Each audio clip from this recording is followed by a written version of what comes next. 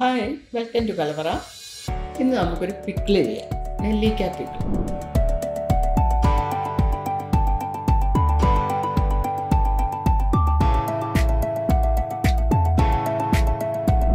അതിനുവേണ്ടി ഇവിടെ എടുത്തിരിക്കുന്നത് അഞ്ഞൂറ് ഗ്രാം നെല്ലിക്ക. വെളുത്തുള്ളി ഒരു കുടം. അത് മറ്റേ ചൈനീസ് വെളുത്തുള്ളിയാണ്. വലിയ അല്ലി ആയതുകൊണ്ട് മുറിച്ച് എടുത്തിരിക്കുക മുറിക്കുകയല്ല കീറി എടുത്തിരിക്കുകയാണ് ഇഞ്ചി ഇത്രയും ഒരു ചെറിയ കഷ്ണം പച്ചമുളക് രണ്ടെണ്ണം കറിവേപ്പില. ഇനി കാശ്മീരി മുളക് പൊടി രണ്ട് ടേബിൾ സ്പൂൺ മഞ്ഞൾപ്പൊടി കാൽ ടീസ്പൂൺ. ആദ്യം നമുക്ക് ഈ നെല്ലിക്കൊന്ന് സ്റ്റീം ചെയ്തെടുക്കാം. വേവിക്കണം അത്. സ്റ്റീമർ വേണമെന്ന് നിർബന്ധമില്ല. വെള്ളത്തിലിട്ട് വേവിച്ചാൽ മതി. സ്റ്റീമറിൽ നെല്ലിക്ക വേവിക്കാൻ വെച്ചിട്ടുണ്ട്. അടച്ചു അടച്ച് സ്റ്റൗ ഇനി വരുന്നു നെല്ലിക്ക വേവിട്ട് സ്റ്റീമർ തന്നെ വേണമെന്ന് നിർബന്ധമില്ല വെള്ളത്തിലിട്ട് വേവിച്ചാൽ നമുക്കിനി തുറന്ന് നോക്കാം. വേണ്ട നെല്ലിക്കയൊക്കെ പൊട്ടിപ്പിളർന്നിട്ടുണ്ട് ഇങ്ങനെ ഇരിക്കണം. അല്ലാതെ ഇത്ര സമയമൊന്നും എനിക്ക് കണക്ക് പറയുന്നില്ല ഞാൻ. അങ്ങനെ പറഞ്ഞു കഴിഞ്ഞാൽ അത് ശരിയാകത്തില്ല. ഫ്ലെയിം കൂടി കുറഞ്ഞും ഒക്കെ നിങ്ങൾ വയ്ക്കും അപ്പോൾ അതനുസരിച്ചായിപ്പോൾ ഇതാണ് എന്റെ കണക്ക്. നമ്മൾ അതെടുത്ത് നോക്കിയാൽ മതി. നോക്കുമ്പോൾ നിങ്ങൾക്ക് അറിയാൻ പറ്റുന്നതായി ഇങ്ങനെ പിളർന്നൊക്കെ ഇരുന്നു പാൻ ചൂടായി. ഇനി നല്ലെണ്ണ ഒഴിക്കാം.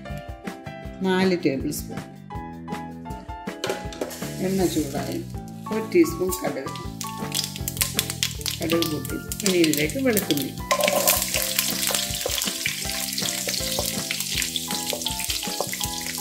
ഇഞ്ചി.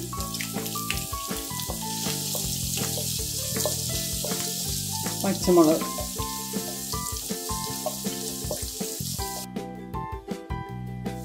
കറിവേപ്പില.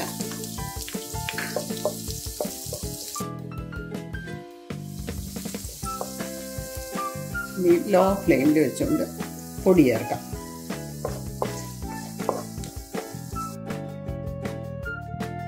ഒന്ന് അതിന്റെ പച്ച മണമൊന്ന് മാറിയാൽ മതി. മുളകിന്റെ പൊടിയിലേക്കാം ഇനി ഇതിലേക്ക് തിളച്ച വെള്ളം. അതിലൊരല്പം ഗ്രേവി ഉണ്ട് എന്നാലേ കുറച്ച് ഇരുന്നിട്ടത് അതിൽ പിടിച്ചു വരത്തുള്ളൂ. ഇതിലേക്ക് രണ്ട് ടേബിൾ സ്പൂൺ വിനാഗിരി.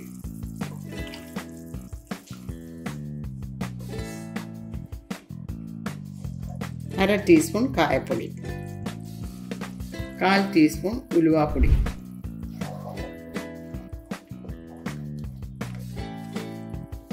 ഇതിലേക്ക് ആവശ്യമായ ഉപ്പ്.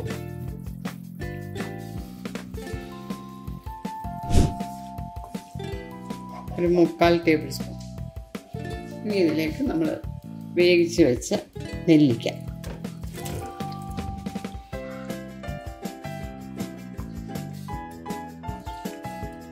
കണ്ടോ ഇതിലേക്ക് ഇങ്ങനെ പിടിച്ച് വരണ്ടേ? കുറച്ച് ദിവസം അത് ഇരുന്ന് കഴിയുമ്പോൾ നല്ലതുപോലെ ഇത് ഇതിനോട് ചേർന്ന് ഇരിക്കും. ചാറായിട്ടിരിക്കത്തില്ല.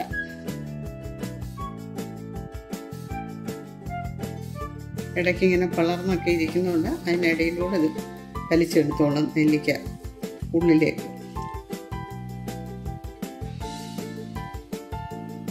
ഈ സമയത്ത് വേണമെങ്കിൽ ഉപ്പ് നോക്കാം. പോരെങ്കിൽ അല്പം കൂടെ ചേർക്കാം.